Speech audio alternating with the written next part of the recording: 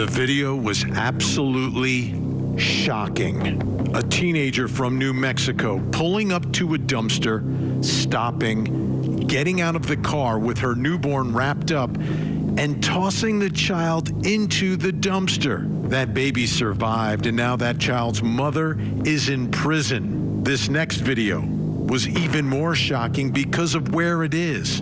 A teenager running down the hallway of a hospital, then going into the bathroom. After she exits that bathroom, a cleaning woman goes inside and discovers a lifeless newborn covered in the trash. That teenager is now charged with murder. For years, we have seen cases involving young mothers accused of crimes when their babies are discovered discarded in the trash. But tonight, we will look at the other side of these tragic cases, the fathers. First in Georgia, an Amber Alert is issued when baby Jasiah is reported missing by his father. Then, as the investigation develops, investigators find Jasiah's remains discarded in a garbage transfer station, and his father now charged with murder. Tonight, we will bring in our experts to look at cases of filicide where the father is the accused killer. But first, we will speak with the two people who loved and miss baby Jasiah the most his mom and his grandma. All this as we investigate fathers accused of killing their babies. I'm Vinnie Politan. Thank you so much for joining us tonight. This is going to be a difficult hour. It always is when we talk about children and children who look to their parents for everything and end up being killed, murdered by their parents. Um, you know, many of these stories, for whatever reason, like one we just uh, previewed for you there in the opening of the show, involve dumpsters like babies in dumpsters, and it's actually a thing. It's actually a thing. So when you when you hear the story, um, you don't say, "Oh, I can't believe it." You say, "Not again." And that's obviously it's sad, it, it's tragic, it's it's but it, it's it happens, and trying to understand why is difficult. And we're going to spend some time tonight talking about all of these issues.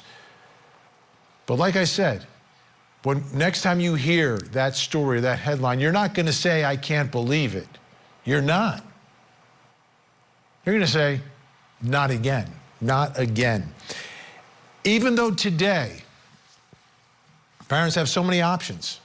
And, and the circumstances are, are always varied. There's some common denominators. Sometimes it's a hidden pregnancy. You don't want anyone to know, you haven't told your parents, you haven't, you know, you're a young mother, and you don't want anyone to know. I remember one of the original ones was the, the, the prom mom who gave birth at the prom. And it, it's hidden for, you know, whatever reasons, the, the reasons of, of, of I don't want to get in trouble, um, the shame, the this, I don't know what to do, I'm confused, all of that. But now there's so many options where any, any young parent, no matter how young, can drop their babies at safe havens, no questions asked. No questions asked, no, no arrest. You don't get in trouble.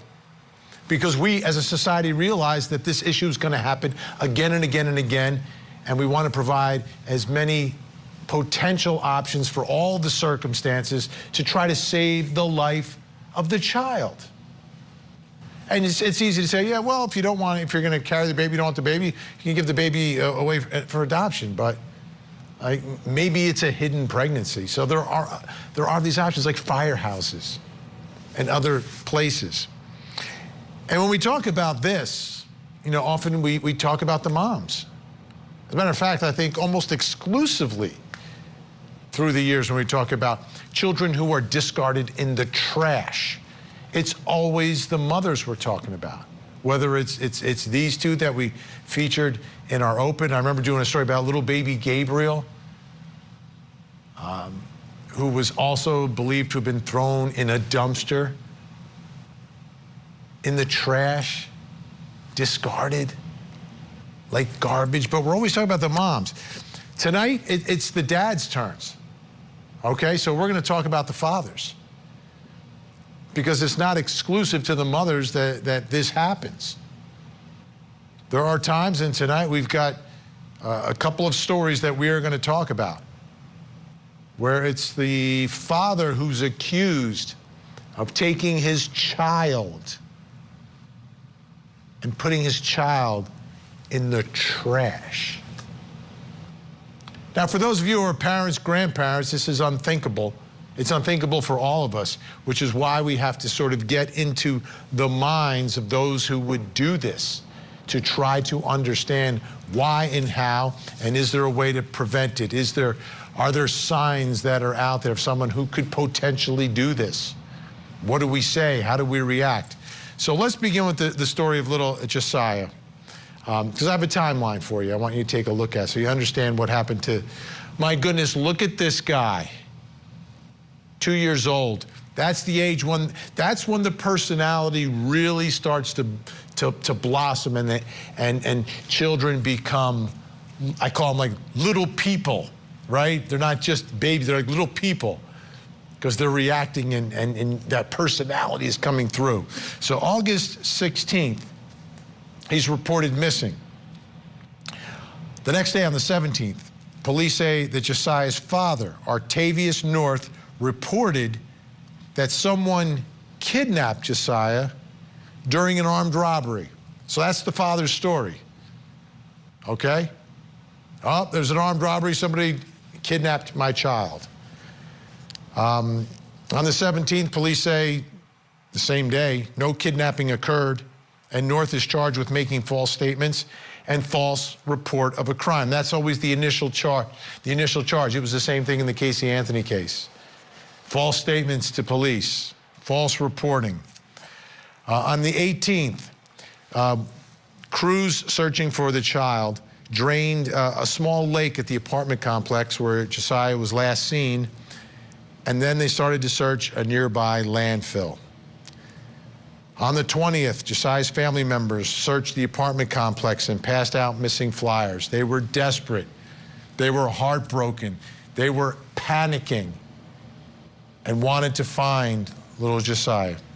Then it's the 23rd, three days later, that his remains were found at the East Point Garbage Facility Transfer Station. Let that sink in for a second. That face, someone looked at that face and said, I'm going to kill you and I'm going to put you in the trash.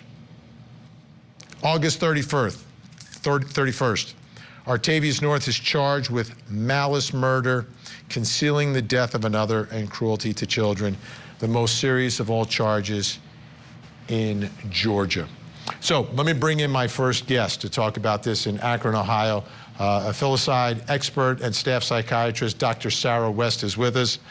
Um, Dr. West, great to see you tonight. Um, mothers versus fathers. How common is this? Mothers versus fathers. How, how is that breakdown generally? I would say it's approximately 50% mothers versus fathers, but I believe that the mothers tend to make the news a lot more, as you mentioned. Um, the interesting thing about fathers, when compared to mothers, is that they tend to be punished more harshly. Uh, and I'll say that oftentimes the fathers will also annihilate the whole family. So this is a bit of an unusual case, kind of statistically speaking. So what you're saying usually when a when a father is killing a child, it's it's we're taking out the whole family. We're taking out mom, siblings, everybody's gone. Um, and, and in those scenarios, how often do they take their own lives? Quite often, actually. That's a very good point. So, yes, after annihilating the family, the fathers will often follow in suicide. So, let, let's, let's talk about how and, and how someone could get from point A to point B, because we're looking at those pictures, and we can keep those up on the screen, those, those photographs, so we understand um, this child. I mean, this, this child, this age, the innocence, the look in their eyes when they look at mom and dad, um, every parent that's watching right now understands that look and knows that look and knows at two years old is when, you know, 18 months to two years old is when the personality is blossoming. How, how does that notion form in, in someone's mind that I am going to take the life of this child and then number two, discard that child like trash, literally like trash? Great questions. And if we take a look at motive, uh, my mentor personally, Dr. Philip Resnick, published a landmark article in the 60s, really focusing on three, excuse me, five reasons why parents might do something like this. Um, there's the idea of altruism. If a parent believes something's wrong with their children, uh, they may try to eliminate them because they don't want them to suffer. There's psychosis. There's spousal revenge, the idea that they may be trying to get back at their partner or the other parent of the child. There's the unwanted child, where the child just isn't wanted at home, maybe a victim of abuse. And then lastly, there's the idea of accidental filicide, where it's an abusive situation that's just gone too far.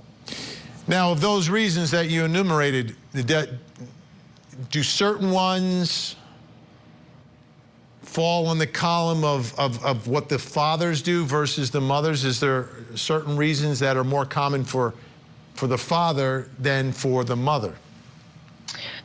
I don't know that it's broken down by reason, but age certainly is a distinction. So you had mentioned uh, the dumpster. Oftentimes we associate that with what we call neonaticide, which is the killing of a brand new infant within the first 24 hours of life. Just because of access, that does tend to be mothers more often, and mothers attempt to dispose of the body in a dumpster. Um, I will say, in talking about the dumpster, that is um, notable in the fact that a parent, whether it's a father or a mother, is trying to get rid of evidence, which is important uh, in terms of assessing criminal responsibility. Um, stay with us. We've got another guest joining us tonight in Atlanta, Georgia, former special agent in charge at the Georgia Bureau of Investigation worked many, many cases involving children. Trebor Randall is with us. Uh, great to see you, Trebor. Um, let, let's talk about trying to piece together what happened to a child who was discarded in the trash. What are the challenges there first in, in the identification and the recovery of, of the remains? Well, Vinnie, first of all, um, having been a part of those recovery efforts uh, for similar cases in the past, uh, time is of, is of the essence, as you mentioned. I think, it, uh, needless to say, early on, everyone had concerns uh, when this case uh, was first announced, or when it was first announced that the baby was missing. But certainly, um, at some point, the investigators um, you know, we know that this is a recovery, a forensic recovery uh, initiative, if you will. And when you have that amount of time that passes, especially here in the South in Georgia, um, it's critical for us, even if we know for sure, okay, at this point, we are looking for a body. Um, you know, this child is no longer with us. Um, evidence is degrading, you know, constantly. The forensic uh, evidence that you hope to get sometimes uh, some of that evidence um, can be uh, destroyed um, due to the elements when you're dealing with bodies and decomposition and certain things that happen uh, unfortunately when uh, you know the blood is no longer running through your veins and your heart's pumping that is always a challenge when you're dealing with outdoor crime scenes that you have um, animal activity, you have insect activity. Uh, we have a really good, you know, forensic specialists when it comes to um, the state of Georgia and a lot of the metro medical examiners offices, and they're able to determine, you know, injury and wound patterns, even though individuals will try to cover that up, um, you know, by disposing of the body or by burning the body. So we can still tell certain things, but it certainly is a challenge when you're talking about the recovery of remains, and we're talking about a small two-year-old. Um, that's just a baby, in my opinion, and that evidence that body is going to deteriorate very fast. We've got another guest joining us right now, New York City psychotherapist, host of uh, Talking Live and the Bite Size podcast. Dr. Robi Ludwig is with us. Dr. Robi, uh, great to see you as well. Uh, Dr. Robi, let's talk about the, the in cases like this, right, where you've got um, a child who is the victim and you have the father who is the suspect. Um, I think the dynamic between mom and dad in some of those cases becomes a, a key part of everything that's happening.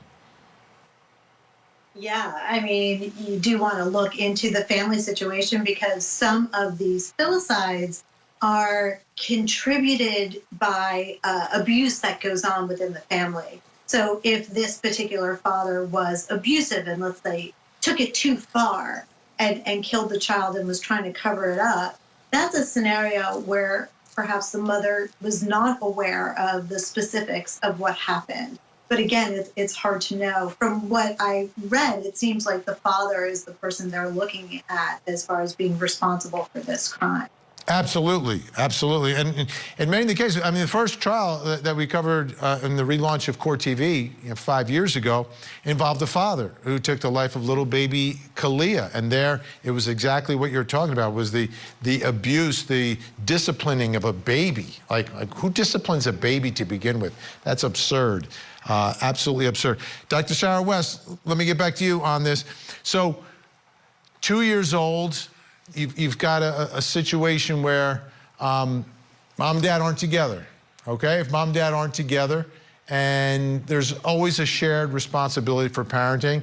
Obviously, um, you want dad to have a, a, part in, in your child's life as well. Um, and, and how does, I, I'm, I'm trying, I still can't figure it out, right? The, the, the, the mindset, the, the moment, right? Does do, do we think the moment is is building up and it's a plan? Is it is it a you know like all of a sudden something happens that could trigger someone there? I, I, I this this journey, I don't get it. Look at this guy. I do consider, especially in a situation where the parents are separated and maybe in some sort of custody battle, that that partner revenge may play a role in that. So it's very important to assess the relationship between the parents and figure out uh, what factors in their relationship could have played a role in this. And I think it can be both. I think it can be a moment in time where somebody snaps. I also think it can be a premeditated activity. All right, everybody stay where you are. We've got more to talk about on this issue. Plus, coming up next hour. In Delphi, Indiana, the fallout continues from the accusations coming from the accused Delphi killer, Richard Allen. He now claims an Odinistic religious cult murdered Abby and Libby in a ritualistic killing and then threatened his family if he didn't confess to the crime in a jailhouse phone call. A tragedy in the Hollywood Hills. Prominent therapist Dr. Amie Harwick found fatally injured under her balcony. Her ex boyfriend on trial for her murder. She had had a restraining order against him. He strangled her, lifted her up over the balcony, and dropped her. He never intended on killing her. Is this a case of a jilted lover turned obsessive stalker? The Hollywood Obsession Murder Trial. Coverage continues Tuesday at 8, 7 Central on Court TV.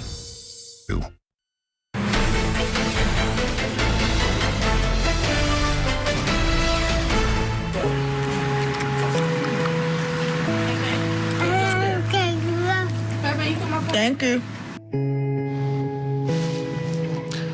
Amazing little video, amazing little guy. Um, what a tragedy. That's uh, baby Jasiah, and I want to bring in a special guest now. Uh, Jasiah's grandma, Larissa uh, Mitchell, is joining us. Larissa, thank you so much for joining us tonight.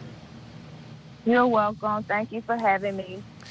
Um, let's begin here. If you could give us a little snapshot of Jasiah.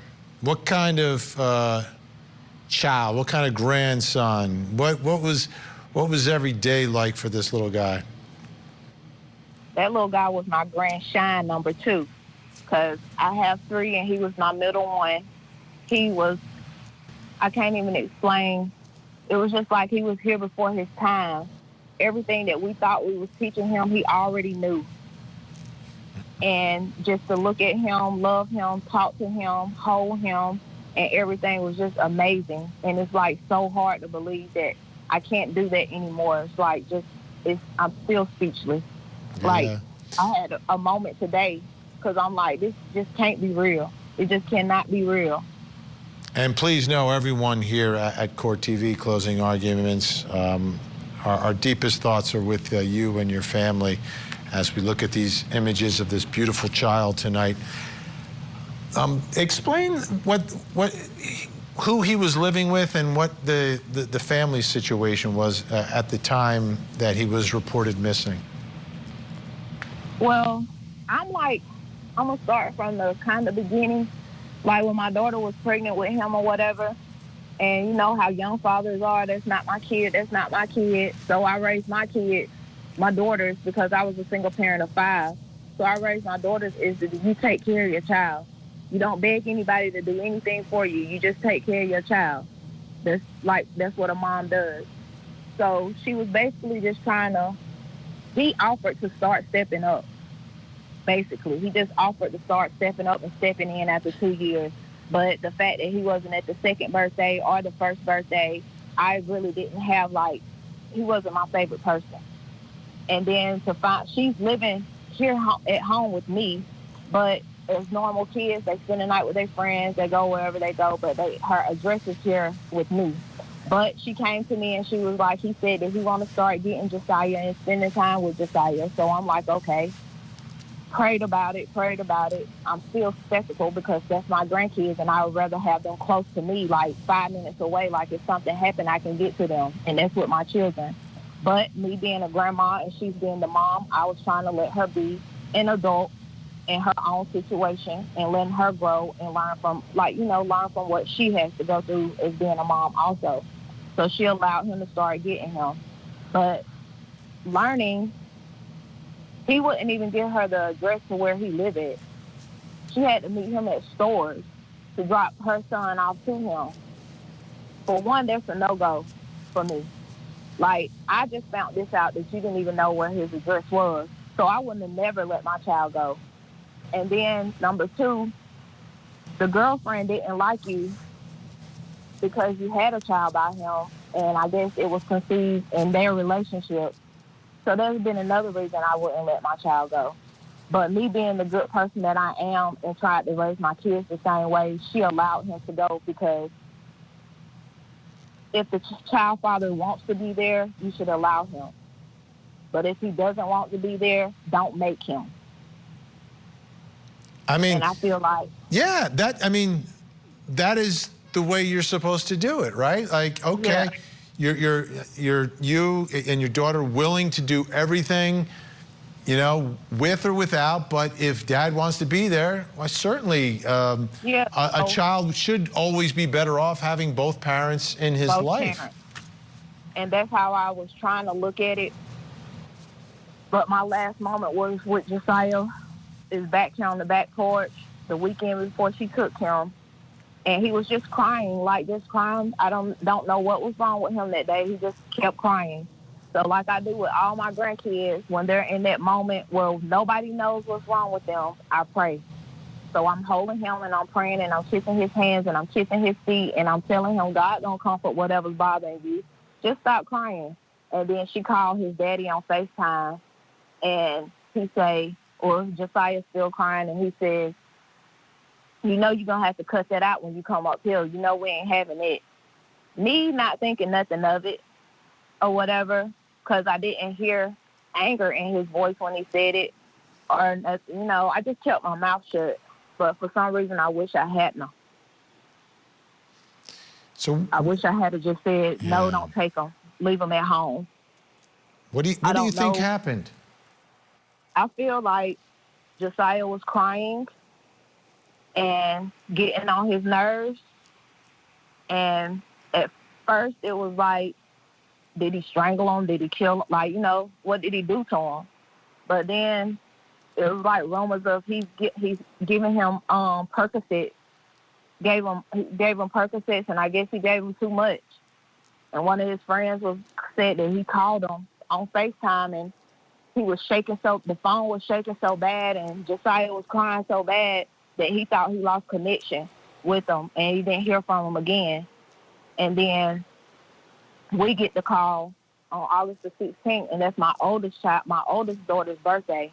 We get the call at 11 something. Well, he calls my daughter through uh, Facebook and say that Jasiah is missing. And so she runs to me and tell me the same thing. And then his mom called and say she just called and said Jasiah's missing. So my question is, y'all are calling everybody in the family to tell everybody that Jasiah is missing, but then not one person called the police. I'm the one that called the police first. Whoa, whoa, whoa! Wait a second. Wait, exactly. a child goes missing and the police aren't called? The police is not called. Everybody is called except for the police. When my daughter comes to my room and say, "Mama, Mama," he just said, "Just somebody just took Jasiah." I called the police from my phone right here at my address, and I drove to the address that he said Jasiah got missing from and it was a police sitting at the store above from the apartment. So I run to the police to tell the police that my grandson just got kidnapped, and they're looking at me like a fool because he's been sitting there patrolling all night and he ain't seen such a thing. So it took them hours before they could believe our story, and the only reason they believe the story is because he called back while we was in front of the police and said the same thing again. And that's when they believed us. And that's when they took us down for an investigation where we sat in the investigation room for almost 12 hours. And his mom called and he was calling and they was recording everything. But I'm the first person that called the police. I called the police while I was in Temple, Georgia. They dispatched me to four different counties because I wasn't in the right county when I told them address we was going up I-20 while I'm on the phone with the police. And he's on the phone back there with her. So I asked him, I said, where is my grandson? And his words was, I can't go to jail, Miss Marie. I can't go to jail, Miss Marie. And he would not tell me where my grandson was, and he stuck to the story of somebody snatched him out the car. Wow. So he's he's talking about going to jail, and, and he's not calling the police and he's not calling the police. I called the police first. I'm the one that made the the, the start. Everything get started. Did he did did he ever look you in the eyes and tell you uh, his his story about what he said happened? I haven't I haven't saw him. The only time I talked to him is when he was on the phone and he was telling my daughter what happened and he was trying to get me to believe what happened. But every address that he said, I was listening. So every address he said, that's the address that I told the police. And some way, somehow, they ended up finding him, getting him, or him turning himself in. And that's when me and my daughter left the, invest, the investigating room, and that was around noon the next day. Right, he called around 11 that night saying that he got missing. We got up there within 30 minutes from exit 19 to Flat Shoals exit, and that's where I saw the officer that was just sitting at the store. And I hop out the car. I even go to the store to see if they had cameras or anything because he's saying a, a car pulled up from the Aspen apartments and swerved in front of him and asked him for something and he didn't have it. So they go to the back seat and they snatch out my grandson and pull off. And I'm like, you ain't dead either. You ain't dead. You ain't beat up. You ain't hurt. They just took my grandson. That makes no sense. And you tell and you telling me that you don't want to go to jail, but you can't tell me where my grandson is. How's your daughter doing? My daughter is devastated. She is hurt. My daughter is hurt. That was her only child, her first child. Each one of my kids, I had my kids doorsteps. Their grandkids was doorsteps. The oldest one has a three-year-old. My Asia, he's two, and my third daughter is one. He just put a gap in my family. Like he just, he just like selfish, so selfish, because you could have easily called us to come get him, just like you easily called to get him. If he was getting on your nerves, you could have easily called us the same way, or called my daughter, or called me, because at the drop of a dime, I'm coming. When it comes to my grandkids, I'm like that with my children, but when they had my grandkids, it's different. It's a different story. So you could have called somebody before you hurted him or whatever you did. We haven't even got the autopsy back to say the day that he actually died or what actually went on, what what what what's his cause of death. We still haven't got there yet. But I do remember that his mom had said that she talked to him two days prior to, to that. So that would have been the the 14th, the 13th or the 14th, and she said that she seen him on FaceTime, live and well. So I'm just trying to figure out like when all of this occurred and well, I don't know. Larissa, I know this is a difficult time for your family and, and the emotions have to be all over the place, but we really appreciate yes. you coming on tonight. We're going to continue to follow this story and see when more information comes out so we can figure out uh, exactly what happened to this little angel uh, grandson of yours. Thank you so much, and please give our best to your daughter as well. Thank you. All right. Okay, folks. Um, we've got more to get to. We'll bring back in our experts and talk about another story involving another father in Oregon.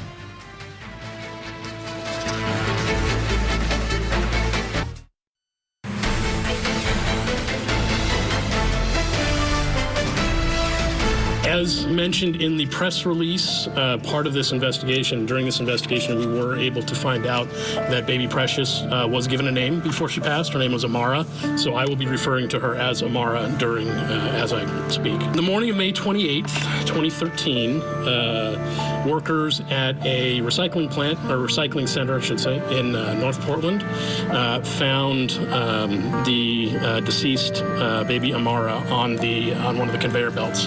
Um, going through their daily sorting of recycling materials. And they put in a ton of work uh, trying to track down things like the trucks that had come and dumped th- dumped uh, material, their routes, any video from where the pickups were done. There was, a, as you know, uh, immense amount of public outcry uh, or not public outcry, uh, public um, request for public assistance um, and things like that. And ultimately, that uh, didn't produce any actionable leads.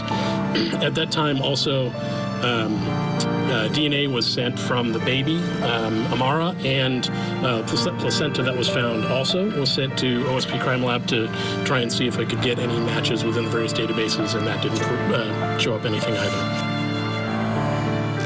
The tragic story of originally baby Precious, this child who was not identified for 10 years. These remains were found in, in the recycling conveyor belt. Another baby uh, killed and tossed away.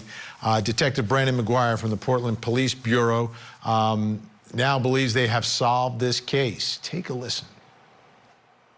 We sent off samples in May of 2019.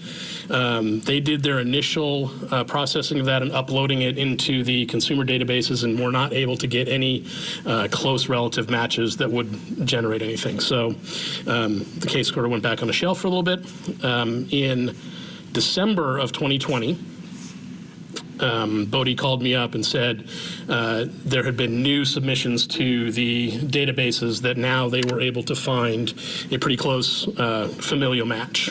Uh, unfortunately, that match um, was uploaded anonymously, so we had no idea who this person was. Um, we did have an email address, however, and through that we were able to track this person down. Um, and then we had another roadblock. This person was adopted, so we had no actual biological family to work with uh, with them. So the next um, six or eight months were spent um, going through uh, the courts to get access to adoption records in Utah and Idaho. Um, and that uh, ultimately in July of 2021, that got us to identifying um, a local family that was involved in this. As you know, uh, a man named Alnath Omar Oliver has been indicted for a number of charges. He goes by Omar, so if I uh, if I uh, mentioned was Omar, the suspect who I'm, referring to. Uh, and ultimately, what we found was Omar, uh, 10 years ago, when he was uh, in his 40s, had a relationship with a then 15 year old. Uh, who, for obvious reasons, we will not be identifying.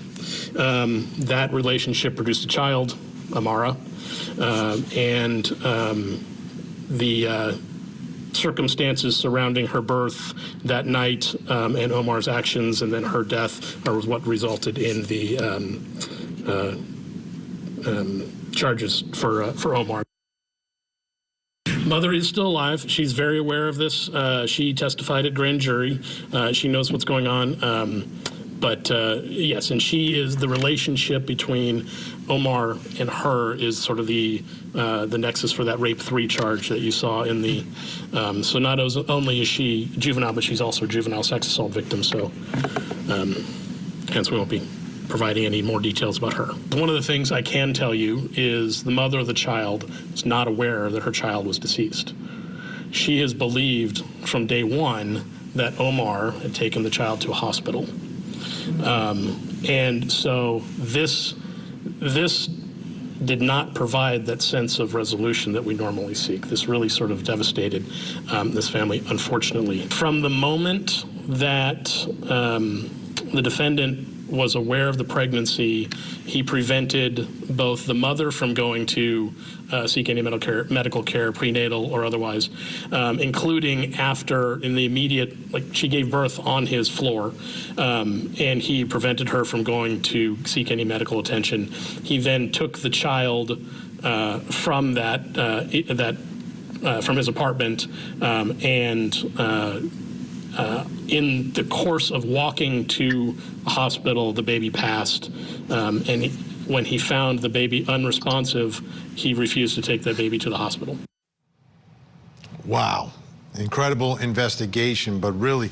Uh, an incredibly tragic story, but very layered. Let's bring back in our guest, still with us, uh, Filicide expert, staff psychiatrist, Dr. Sarah West former special agent in charge, Georgia Bureau of Investigation, Trebor Randall, and psychotherapist, host of Talking Live, bite-sized podcast, Dr. Robi Ludwig. Uh, Dr. Sarah West, uh, your, your thoughts about um, this father accused of doing what he did.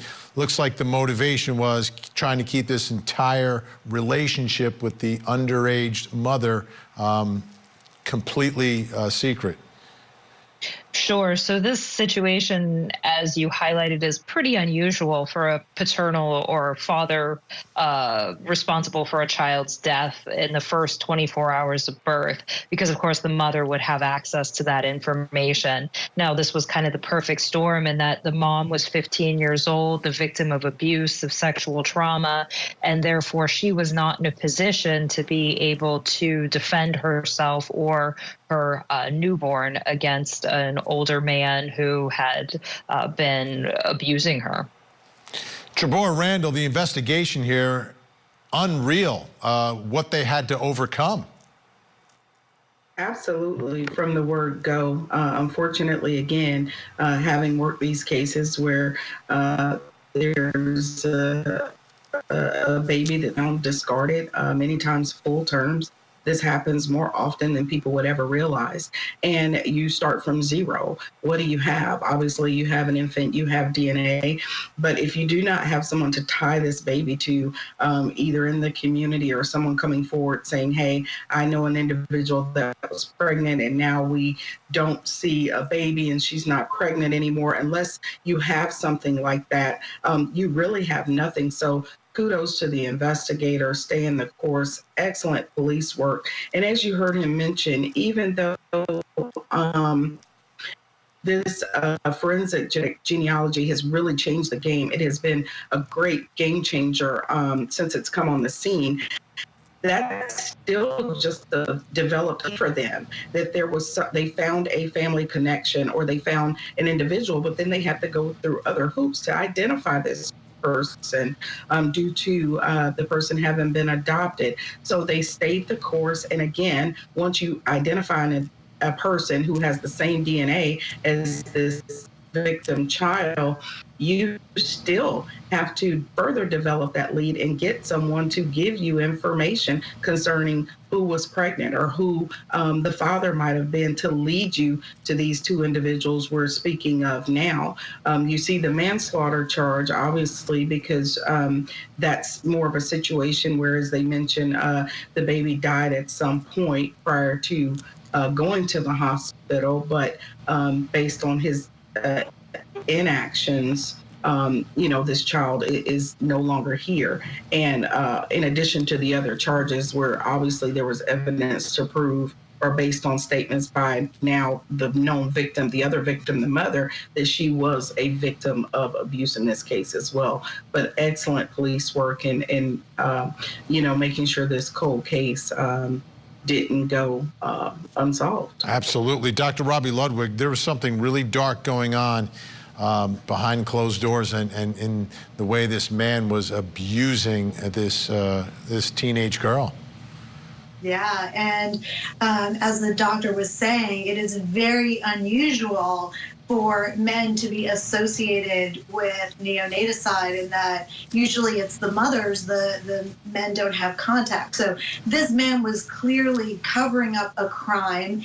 And we know when we look at the studies of filicide and we look at men, and there aren't a tremendous amount of studies because of the gender bias or over focus on women, that there are multi, multiple factors. So this man had a character disorder, uh, might have had a mood disorder, and um, you know didn't want this child. Perhaps there were financial issues, and he was covering up a crime. So here we see a confluence of all of these issues contributing to his actions.